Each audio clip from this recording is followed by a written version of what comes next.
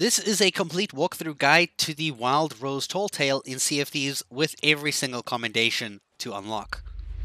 In order to start the Wild Rose Tall Tale, you're going to need to sail all the way over to Sanctuary Outpost at the top left of your map. When you're at the outpost, you're going to go to the Order of Souls Lady, look to the left, and you'll see the book for the Wild Rose Tall Tale right over there. With the Tall Tale active, you'll need to collect 5 journals. The first one is at Lone Cove at that location. When you get on the island, you can run to the center rock, and once you get to the one side with the campfire, you'll see you can turn around it at this side, and you'll see there's a book lying just next to some flowers against the rock. And that is the book you need to read. The second journal is located at Sailor's Bounty on this island right over there. When you get on this small little island, you'll see here by the lantern and a bunch of barrels and wood, you'll see the book is just to the right of those. The third journal is located on the middle of Rapier Cay, right by the trees and grass area. It's literally just by these barrels over here in the front there. You can just read it like that. It's kind of easy. The fourth journal is located on Cannon Cove at this spot right over here. If you run on the beach past the boat, you will see there is a little camp set up over here. You can just run in here and you'll see the book is literally under this barrel on the side. The Lost Book is located on Lagoon of Whispers at this spot right over there. When you get there, you'll see there's some barrels and a book on top of the barrel is the one that you need to read, and those are all five journals that you need to read just once.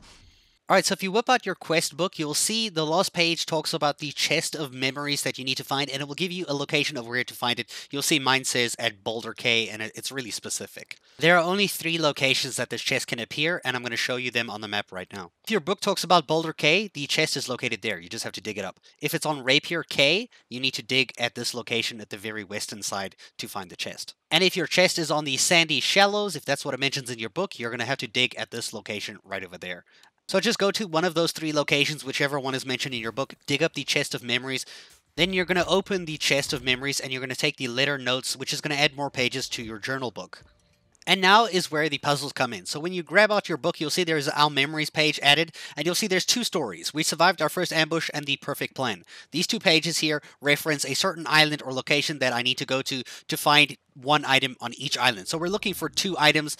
I'm going to show you each story and what island you need to go to and where you need to dig to find that item. So if one of your stories begins with our first kiss, you need to go to the Lagoon of Whispers at this spot over here, and if you dig, you will find the treasure item you're looking for. If you have the We Survived Our First Ambush story, you need to head to Cannon Cove at this location on the east side beach and dig there to get the, the treasure item. If your story starts out with Pig Chase, you need to go to Salty Sands, and you basically stand at this spot looking over the island there and dig by your feet to find the treasure. If your story begins with Doing What I Do Best, you need to go to Boulder Cay, and you literally just dig between the two palm trees closer to the straighter palm tree.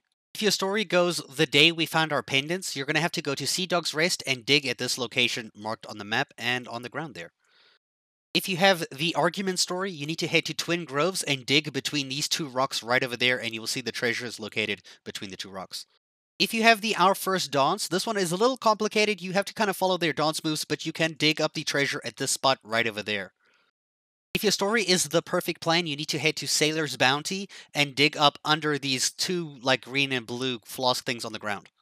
If your story is our first bounty, then you need to go to Lone Cove on the left side by the tree closest to the ocean. You're going to dig there and find it.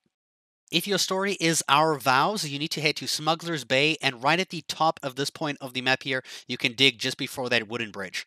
If your story starts out with day 81, you need to head to Lonely Isle and you will dig at around this spot over here. You'll be finding George's spice box, which is the box of spices, and Rose's music box. Now you're going to sail back to Sanctuary Outpost.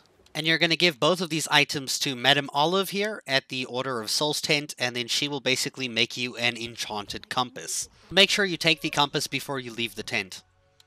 Now I don't really need to explain how the compass works, you just follow where it's pointing and it will lead you to two different skeletal bodies. The first one will be George and you will get the rose pendant and you can take this and put this on your ship. The compass will then reset and give you a new direction to where Rose will be found. Now, spoiler, you won't actually find Rose's body. You're going to instead find Rook, a skeleton who has George's pendant with him instead. So you're going to have to kill him to get, or her, or it, or skeleton people. So just kill Rook, and you will see he or she or it, the skeleton, will drop George's pendant. Now you can take this to your ship as well. Now once again, with the two pendants, you're going to sail to Sanctuary Outpost. At the outpost, you can give Madame Olive at the Order of Souls the two pendants one at a time, and this will signal the end of the Tall Tale, and you will receive your money and your commendations. I hope you guys enjoyed the video, I hope it was helpful. You do need to complete the Tall Tale five times to get all of the commendations, so good luck, have fun, and I'll see you guys in a future video. Thanks for watching.